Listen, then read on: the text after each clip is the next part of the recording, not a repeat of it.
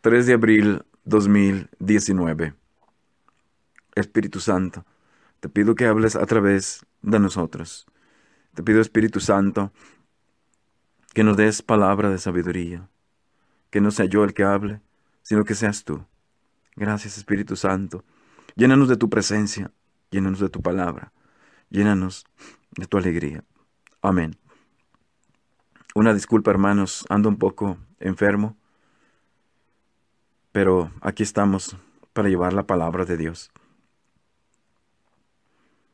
Primera lectura, Isaías 49, versículo 8. Esto dice el Señor. En el tiempo de la misericordia te escuché. En el día de la salvación te auxilié. Yo te formé y te he destinado para que seas alianza del pueblo, para restaurar la tierra, para volver a ocupar los hogares destruidos, para decir a los prisioneros, salgan, y a los que están en tinieblas, vengan a la luz. Pastarán de regreso a lo largo de todos los caminos. Hallarán pasto hasta en las dunas del desierto. No sufrirán hambre ni sed. No los afligirá el sol ni el calor. Porque el que tiene piedad de ellos los conducirá a los manantiales. Convertiré en caminos todas las montañas y pondrán terraplén a mis calzadas. Miren, estos vienen de lejos, aquellos del norte y del poniente, y aquellos otros de la tierra de Zenim. Griten de alegría, cielos, regocíjate, tierra, rompan a cantar montañas, porque el Señor consuela a su pueblo y tiene misericordia de los desamparados. Sión había dicho, y el Señor me ha abandonado. El Señor me tiene en el olvido. ¿Puede acaso una madre olvidarse de su criatura hasta dejar de enternecerse por el hijo de sus entrañas? Aunque hubiera una madre que se olvidara, yo nunca me olvidaré de ti. Dice el Señor Todopoderoso palabra de Dios. Te alabamos, Señor. Salmo responsorial 144. El Señor es compasivo y misericordioso.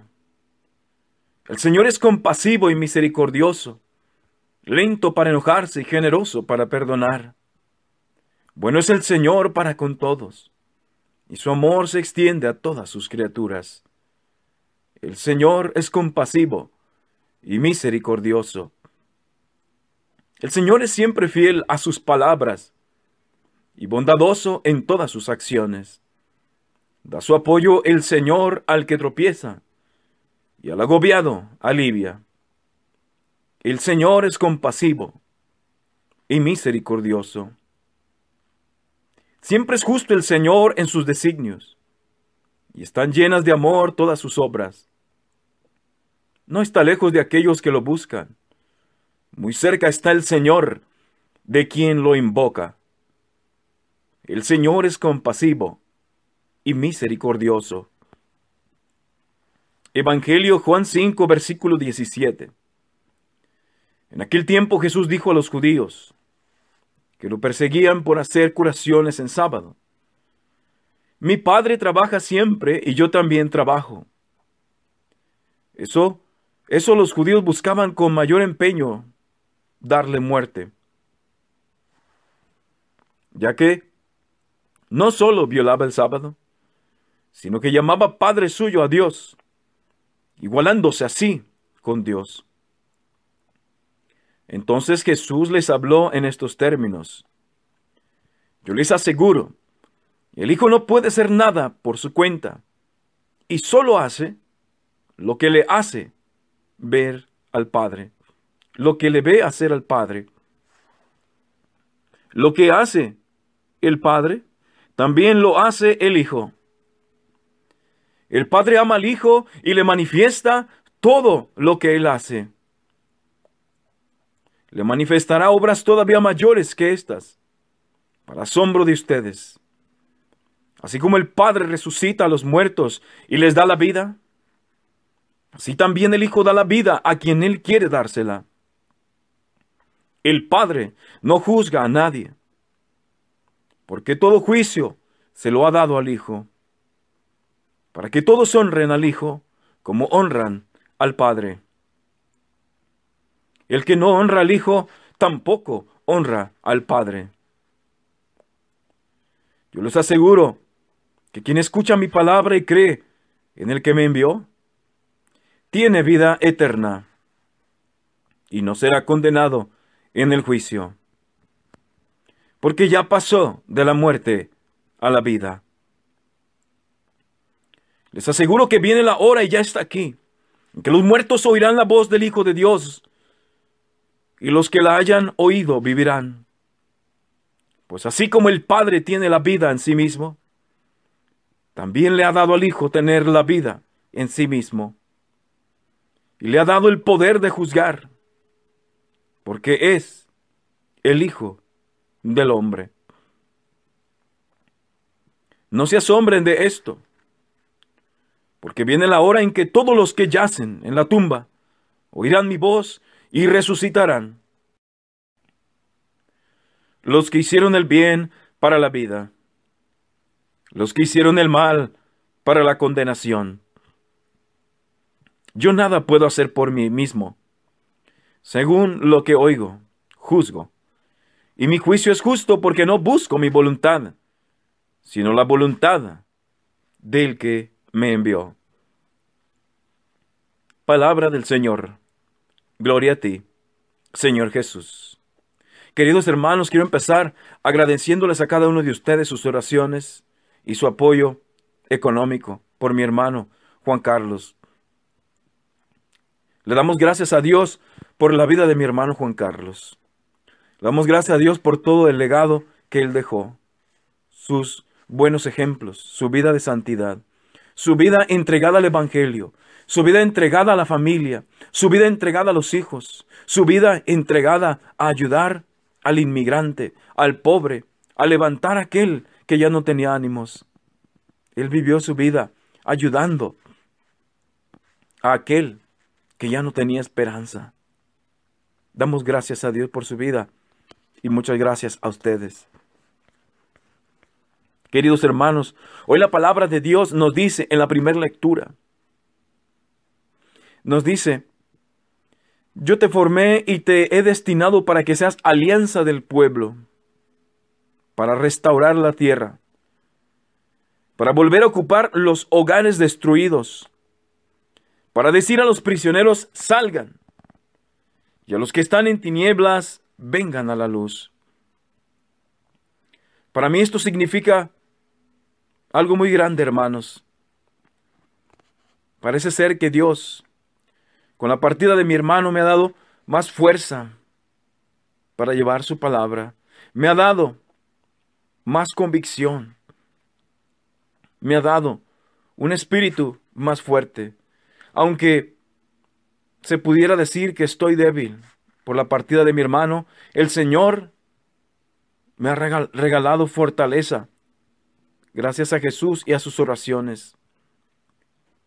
Yo sé que la bendición llega a toda nuestra familia cuando alguien ora por otra persona. Siento que el Señor nos está llamando a cada uno de ustedes, a ti y a mí, nos está llamando a llevar su palabra por donde quieran. Déjame decirte, las últimas palabras de mi hermano Juan Carlos le dijo a su esposa, le dijo, ahora les toca a ustedes evangelizar. Esas fueron las últimas palabras de mi hermano antes de cerrar sus ojos y a los momentos o a, las, a la hora o dos partió al cielo. Nuestro hermano Juan Carlos nos dejó una misión que ahora nos tocaba a nosotros evangelizar. Y hoy la palabra de Dios nos dice, yo te formé y te he destinado para que seas alianza del pueblo, para restaurar la tierra. Fíjense qué, palabras tan grandes, hermanos. Dios te está diciendo, que te ha destinado para que seas alianza del pueblo, para restaurar la tierra.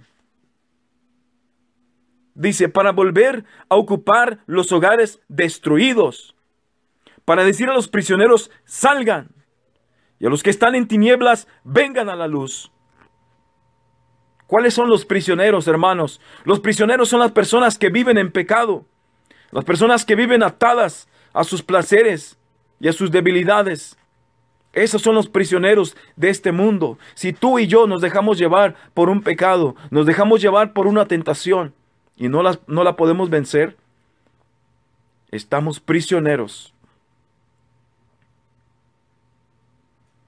Fíjense cómo dice, y a los que están en tinieblas, vengan a la luz. Hay muchísima gente en tinieblas. La Iglesia Católica está atravesando por un periodo de tinieblas. Está atravesando por un periodo de purificación. La Iglesia Católica está en crisis en este momento, hermanos. Obviamente no se va a acabar. La Iglesia Católica jamás se va a acabar. Pero la Iglesia Católica está pasando una purificación en este momento con todos los escándalos que está viendo por los sacerdotes, por los abusos sexuales.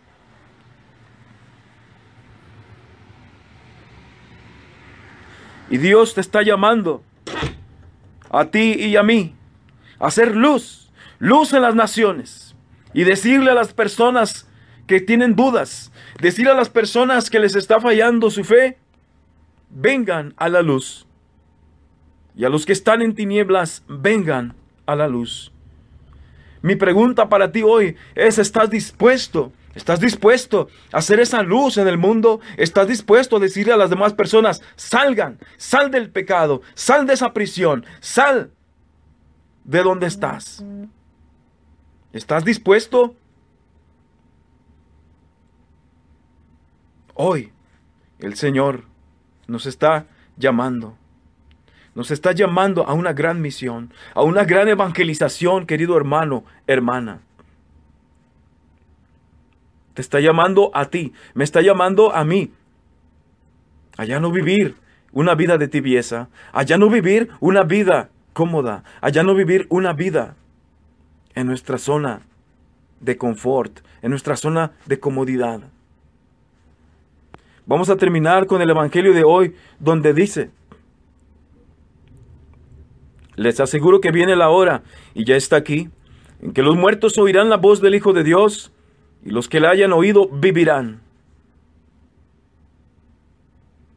Qué palabras tan grandes y tan importantes para el mensaje de este día. En que los muertos oirán la voz del Hijo de Dios, y los que la hayan oído vivirán. Tú y yo estamos llamados a llevar esa voz de Jesús.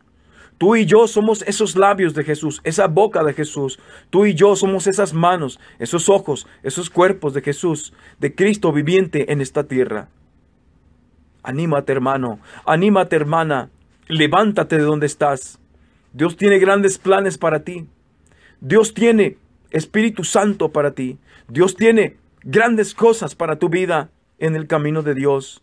No te quedes donde estés. No te quedes sentado. Levántate y sírvele al Señor. Dios te bendiga en el nombre del Padre, del Hijo y del Espíritu Santo. Amén.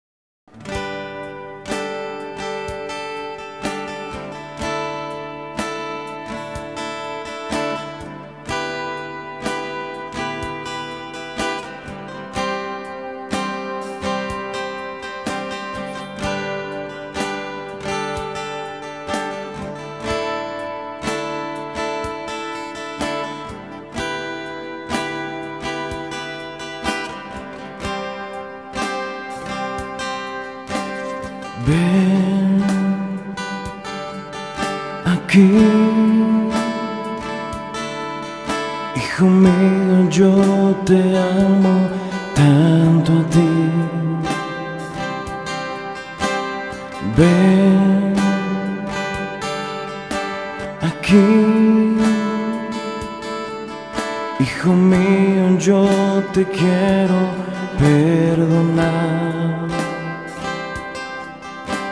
Mi misericordia es infinita y cruzar los mares por ti. Yo subí hasta esa cruz solo pensando en ti. Ven a mí con confianza, acércate siempre así. Si tú supieras cuánto te amo, supieras cuánto te espero aquí, si tú supieras que me haces falta, si tú supieras cuánto me importas a mí, si tú supieras que soy tu padre,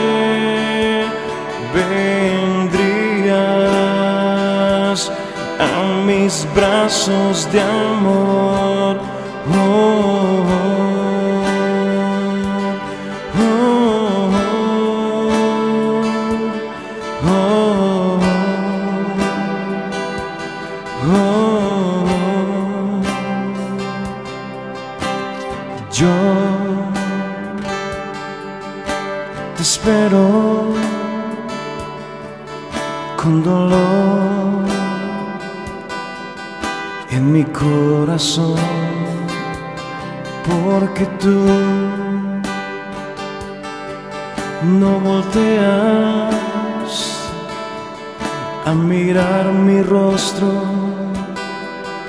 a venir a mí. Ven, voy a darte el amor que nadie te ha dado